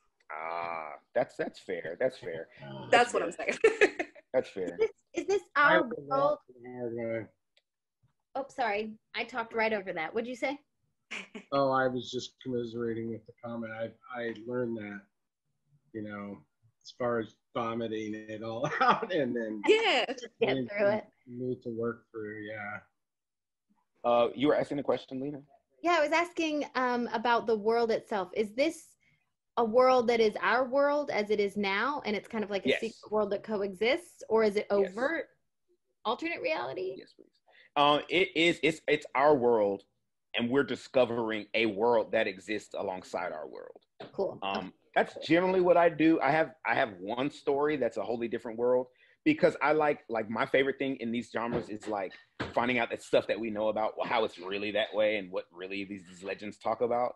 So um, it is our world. Um, but and that's why I say like the consequences of what happened in that house are gonna push the two worlds together. So I'm getting I'm spoiling, but anyway, like I get what you're saying. Um, because I, I think. Go ahead. Uh, have you read any of the Sookie Stackhouse novels, the True Blood series? No, but I've seen all the True Blood episodes, but I haven't seen the. I haven't read the novels. The books are. I mean, I ha- I actually haven't watched the show, but the books are addictive. They're super readable, um, and they paint a really specific world. And there's something about when you mentioned Savannah. Yeah, um, yeah, yeah, yeah. I was like, oh, we're in the South, and there's a there's feeling. yeah, there's a certain feeling. There's a certain kind of like you can play with that. I think um, and that might help us get our footing um, in a really creative way earlier on kind of similar um, you know with darren's piece in the fall and how I, I, think it could be fun to play with the dichotomy of like um, this really uh, ethereal fanciful kind of um, alternate dimensions that he's jumping through and then like the super grounding realistic thing of like a therapist with a pen. I feel like for yours it would be the fun of this fantasy land with all these supernatural beings juxtaposed with like the like old south and like and what that backdrop lends itself for when it comes to um outsiders. Yes. That great. That's it does it does um i i think it's also i hear hearing y'all say the thing about vomiting i wasn't just vomiting i actually was trying to and i, I get what you're saying now because i know where the story's going I know the rules and all that stuff, but the actual structure of the book, I'm because mm-hmm. honestly, it, it wasn't originally when I started writing supposed to be every other chapter was a different character. But I mm-hmm. found that it was better this way because I really wanted us as the reader to really fall in love with each of these characters individually. An ensemble. Yes, um, because the four of them, they really are an ensemble. Um, and you know, there's some political stuff I'm trying to say about Tanya being the strongest one in the group, even though she's the only female and she's black. Mm. Um, I I really want to create like a, a, world for like kids, not kids, for for like geeks to like yeah. really fan out about this kind of stuff. Um, so that was my goal at first, and I felt like that was the best, so people could have their own like, oh, this one's my favorite, this one's my favorite, this one's my favorite. Um, but like it was a second thought. It re- originally was going to be all from Kai's perspective.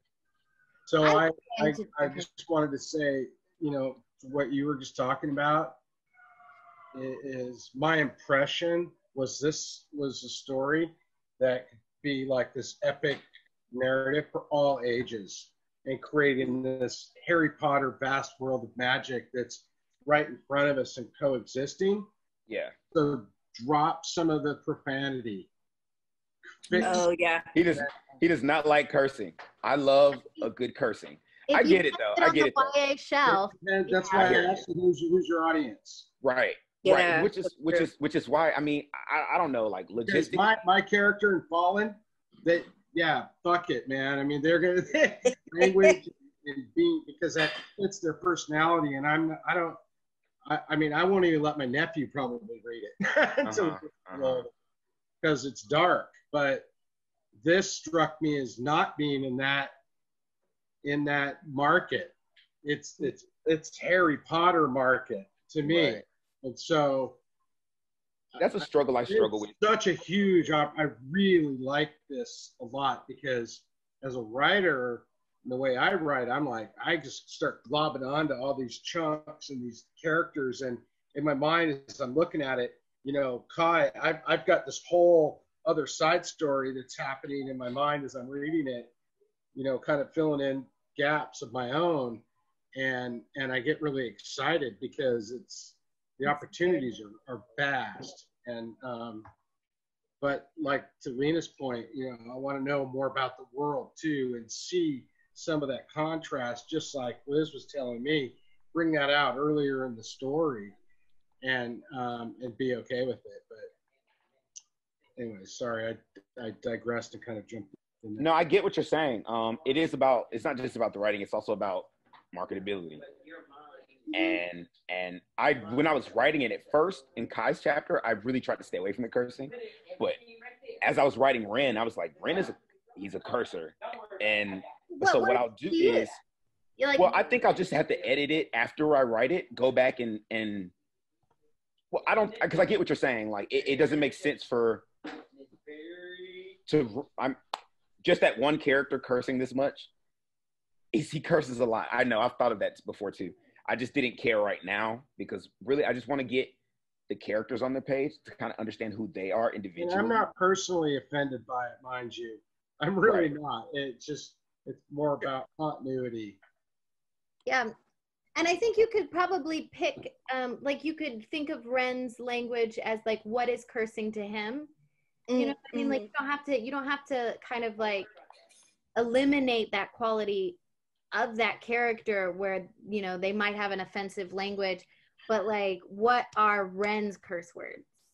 You know? Well, and maybe tie that to personal principles that he has in in his relationship to one to be a steward or a role model to because you know they're like you know super wizards or whatever and and maybe he's got some inner dialogue and some scruples around representation because they want to be accepted and mm-hmm. You know whatever. So yeah i know there's a balance. Is like taking some of the big curse words off the table. You know like playing by the same rules as like um like television does you know where like you can say shit but you can't say fuck. Like like just kind of creating like whatever like where you will go and where you won't go. Um and keeping it in that same kind of zone where it is more palatable to like a wider audience especially younger audience because this does feel like it has potential to be like really solid YA content yeah absolutely yeah, yeah. Mm-hmm. Okay. Um, any more? Writing. Uh, oh, include page numbers. Haha. Oh, okay. yeah, good call. Yeah. Formatting wise. I literally copy and pasted this into this document the day I sent it to y'all. well, we already talked about that. Like, like you wrote it so so quickly. Yeah, I did. But I hear you though, and I if, if, you didn't say that, I definitely wouldn't have done it. the the spacing um, would spacing. be nice, easier to read. My eyes are horrible, and that that made oh yeah challenge. And yeah. and telling like dialogue from different things, like like yeah. Look, look at the books that you like the most, and look at how they format their dialogue and what makes them super readable to you, and maybe mimic that. Mm-hmm. Um, because there are different ways to do it you know there there are standards but there's also variations so like mm-hmm. whatever visually is clearest to you because like looking at this page that you have it on right now it's kind of hard to tell when yes. we're going in and out of dialogue because of the I see it. Mm-hmm. Like mm-hmm. right here. Exactly. Yeah, I see what you're talking about. And you could maybe like you know enter above and beyond that uh, piece of dialogue to draw it out a little more. Um, so that way our eyes can kind of move through it. I don't think I had any other notes um, on there. Um, did I have any questions? No, I mean, my favorite chapter, I, I think for me mostly right now is um, chapter length because Tanya's chapter is super long, but it's mm. long because her chapter has like a lot of action in it. Um, mm. so and so I didn't want to end the chapter, but I might have to. So as far as chapter lengths, is that something that you all feel like is a really big? Um, I guess I'm asking Darren more, but do you feel like chapter length is something that's important to be a certain length to to accomplish, like to be to qualify as a chapter? It needs to be blank amount of pages. For me personally, uh, the reader, I just like my chapters to be kind of the same size throughout. Okay. Mm-hmm just so like I know like when I'm reading, I'm like, oh, I'm gonna start a new chapter. It's gonna maybe take me this long to read through it, but that's mm-hmm. just a total like consumer personal preference. So Darren probably has a stronger point of view from like the uh, writer creative side. Well, it depends on the arc of the story and transitions. I'll use real short, like two, three page chapters if I'm making a significant, you know, transition and or it's almost like an exclamation point in a sentence, you know. So it just it just depends. Um, I tend to pay close attention to word count um, and by chapter um, because it definitely sets a pace. Set by chapter, like by. Yes, yeah, like just by by chapter. I'm looking at at word count by chapter because I mean you you can chart it.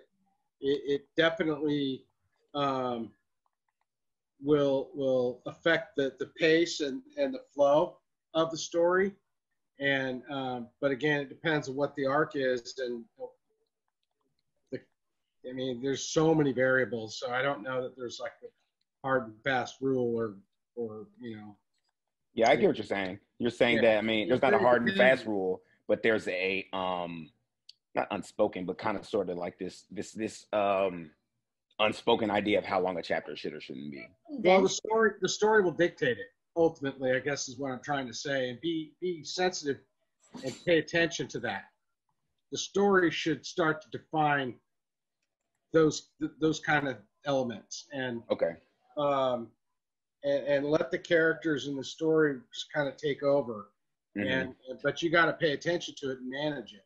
Yes. You know, um, and then reading it out loud um, as, as you, you know, because like I like with Fallen, that that's been well, that's been rewritten and reworked probably half a dozen times. Okay. You know? And it it just it goes through a, a cheese grinder. so, but I think you've got a really excellent platform here that you're creating for your world. Thank you. I mean, I definitely take it as a huge compliment that y'all feel like this is like that it has the appeal of YA because that's I definitely wanted it to be something like that, and that's why I created the world I, I created because this story has a beginning, middle, and end, but the world itself could have a lot of different yeah so um that's definitely what i wanted to create franchise series where it's like right. you know. yeah i just know how i look i'm i love geeks and i just know how supportive we are as a brand as a group of people. And i just love creating stuff for us to have and just relate about and talk shit about and you know debate who's who's got the i love that stuff. And so that's what i really try to create. So i'm glad that y'all see that. I think these notes are great. A lot of it, a lot of it I knew I was going to get, but a lot of it is definitely going to help, especially with the ideas behind, um, I don't know how to word it, but taking the structure and and and using it to introduce us to the world a little bit more slowly to where the readers can consume it logically. Is that kind of sort of like this idea that um, instead of just introducing it and spitting it out, I can actually draw it out and paint a better a bigger picture. I wouldn't think about it as logic. I would just think about it as like allowing yourself the space for us to enjoy it. You know? Yeah. Um, like I wouldn't think too much about like how long is this chapter so far or um, things like that. Like just play in that sandbox for a while. Mm-hmm. Got you. Great. Okay. Thank you so much for being here. Um, your feedback was so great. Lena didn't even submit, and and you had such positive, constructive words. no, I'm saying I'm, what I'm saying is because you know you showed up here and you were such an integral part of the process, and and without having taken necessarily critique for your own work. So I really appreciate you being here. Is what I'm saying. Oh, thanks. You know, you'll see me in the group every day. I hope you guys have a great time. To everybody who's going to be watching this recording, will be up later today. Um, you're right. We're recording. Oh God, I hope I didn't say anything stupid. I don't think so. I don't think we did. I was thinking about that forever and ever. no. Um, yes, if you want to be featured on writer, the, I'm sorry, if you want to be featured during Wine and Reads, just contact one of the admins, which can be me and Liz or Rakia. Or if you want to be on our next Writers Roundtable, make sure you submit um, 10 pages or less um, of any work that you're in the progress of creating. love you guys. Yeah, I know. I'm like, right, right. Darren's like, uh, uh, uh. But yeah, but he's he's different because he's continuing the same piece. All right, you guys have a great day. Have a good night. Be safe. Cheers. Bye.